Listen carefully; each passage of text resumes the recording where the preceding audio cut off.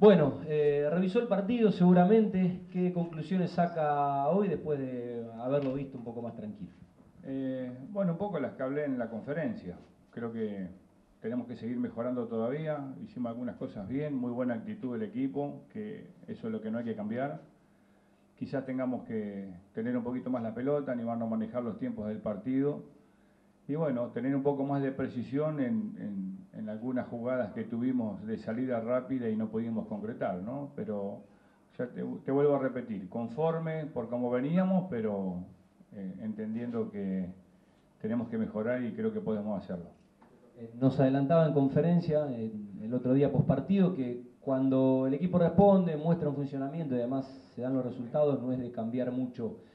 Eh, más allá de que pueda repetir, nominalmente la formación, teniendo en cuenta la condición de visitante, las características de otro rival, las dimensiones del campo, puede llegar a cambiar el, sistema, puede llegar a cambiar la estrategia para el partido del, fin de semana. Eh, no, generalmente me gusta que los 11 que les toque entrar eh, puedan cambiar dentro de la cancha, de acuerdo al rival, no estar, o sea, hoy en el fútbol de hoy hacer un cambio para cambiar un sistema me parece medio perder un jugador o perder un cambio.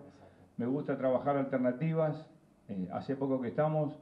Me gustó el equipo que pusimos en cancha el otro día. Veremos eh, si ponemos el mismo, pero cuando encuentre funcionamiento, generalmente creo que un equipo tiene que saber jugar tanto afuera como adentro, ¿no? Así que un poco eso, esa, esa es la idea. Omar, consultar si tiene el 11 definido, si tiene algunas dudas. Y cómo está Luciano Pozarnik, que ayer eh, se lo vio entrenando y hoy también. Eh, Luciano está mucho mejor, eh, no lo vamos a llevar a este partido, vamos a darle el tiempo necesario para que esté bien, porque tiene una imposibilidad para, patear y esas cosas, entonces trataremos de, que la lesión se termine una vez por todas y, esté al 100%. Y el equipo, sí, generalmente están definidos, puedo tener una duda, como mucho, pero después este, va a ser parecido al que, al que jugó el otro día. Omar, siguiendo con el tema de Posernik, una vez que, él esté bien, disponible, ¿es el arquero titular o está en igual condiciones que, que Hoy están todos en igual condiciones y eso nos da la posibilidad de poder elegir al que esté mejor el día del partido. ¿sí? Así que esperemos que se recuperen. Eh, generalmente cuando digo jugador titular que viene jugando bien y se lesiona, eh, excepto que, que entra este, la rompa, le vuelvo a dar la oportunidad de que vuelva pero siempre evaluamos al que le toca entrar. Sí, esto, esto es así, esto es minuto a minuto, como les dije el otro día. Omar, por lo que comentaba el colega, ¿crees que este nivel le beneficia el tipo de cancha, las dimensiones del terreno de juego y también el tipo de juego que tiene el equipo de Berti? Es un equipo que está bien, que me gusta lo que hace, eh, se hace muy fuerte en esa cancha. ¿sí? Hay que saber jugarle a las canchas chicas porque no te dan mucho, mucho tiempo para recuperarte.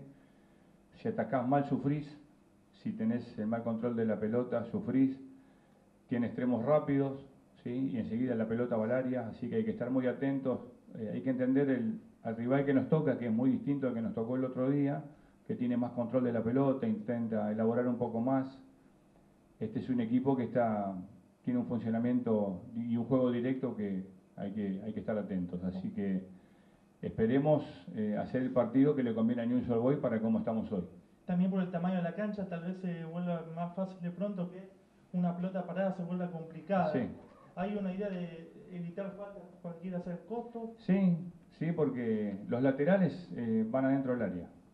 ¿sí? Eh, así que hay que estar atentos. No es una cuestión a veces de lo chica que sea la cancha, sino que el paredón está muy cerca eh, y el jugador se ve obligado a frenar mucho antes. O sea que tenés que ser muy preciso y bueno, hay cuestiones que que hay que resolver, pero tampoco es para volverse loco.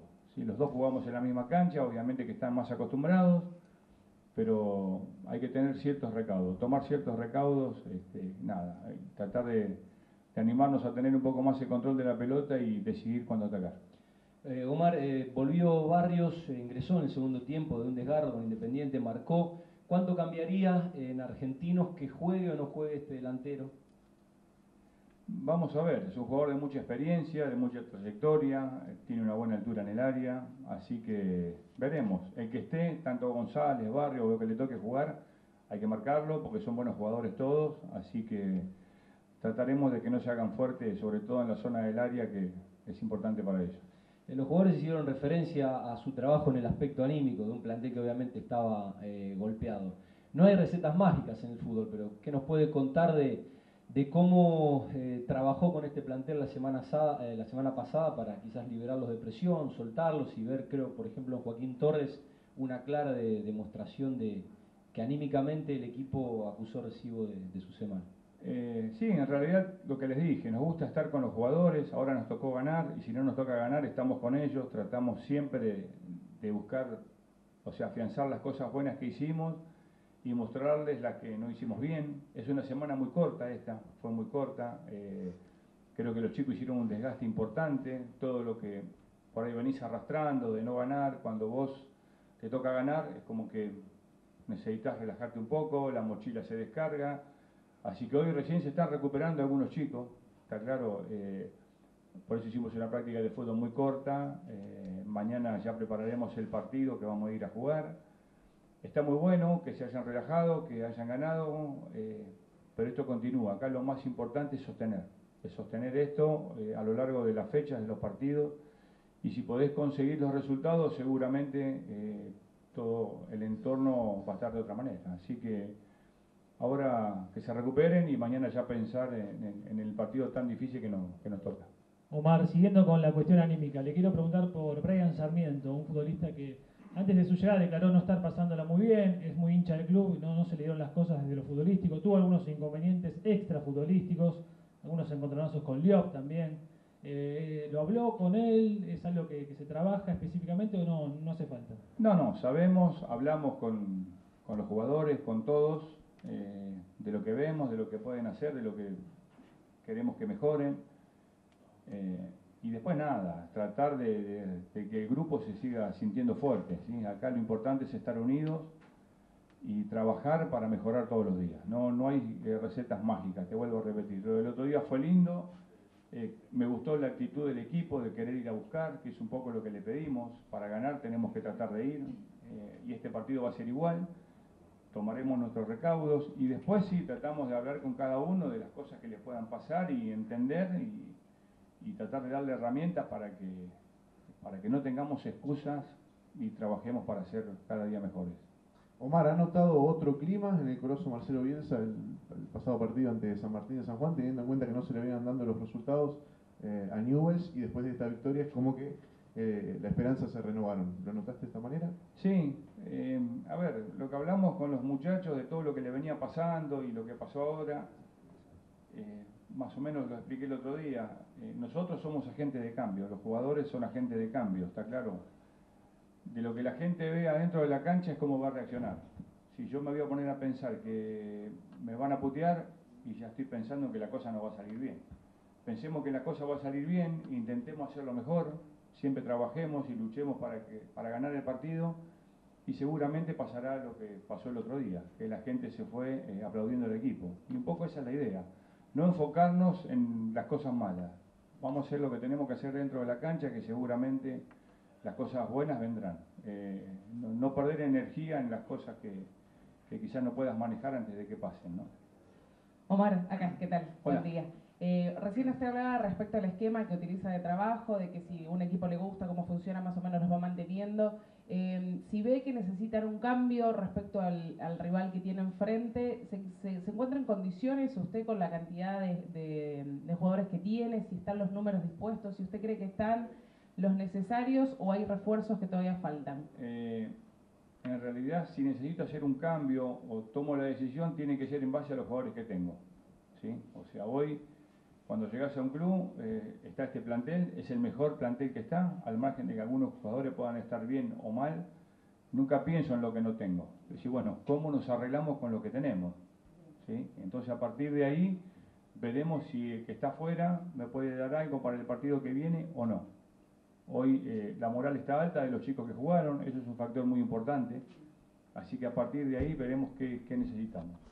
Omar, buen día. Recién hacía usted referencia a algunas dudas que por ahí puede llegar a tener todavía en el armado del equipo. Puntualmente, ¿en qué sector? ¿Qué todavía no le ha convencido del partido con San Martín? ¿Dónde podría llegar a haber algún cambio? Y sobre todo a la hora del funcionamiento del equipo, ¿qué no le ha gustado? Eh, no, no. Hay cosas que por ahí hablamos con los chicos que tienen que, ver con perfeccionar algunas que, que tenemos que mejorar, no es que no nos gustaron. Eh, me preocupa la recuperación. Hay algunos chicos que todavía no se han recuperado del todo, eh, entonces más que nada pasa por ahí.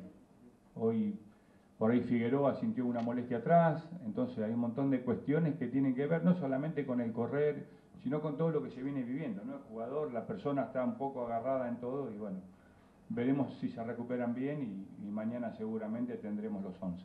Eh, Omar, para profundizar un poco sobre lo táctico, lo posicional. El doble 5, Bernardelo Rivero. ¿La idea es que jueguen hemisféricos en la misma línea o la idea es que Bernardelo sea más contención y Rivero el 5 de juego? Sí, sí, esa es la idea. Bien. Esa es la idea. igual tienen que venir gente de afuera o Brian a colaborar con la mitad para elaborar desde ahí. O pueden jugar uno atrás y dos interiores. Hay, hay, hay algunas variantes que estamos tratando de trabajar, pero o sea, no arrancar con esa forma, que tengamos un poquito de impronta y que podamos este, en un partido desarrollar cosas que no sean tan impuestas y que el equipo me pueda presionar, el rival me pueda presionar arriba. ¿no? Y a propósito de la recuperación física de los futbolistas, eh, algunos directivos deslizaron la posibilidad de jugar Copa Argentina el fin de semana de mm, fecha FIFA. ¿Tiene alguna información de cuándo tendrían que jugar eh, ese partido?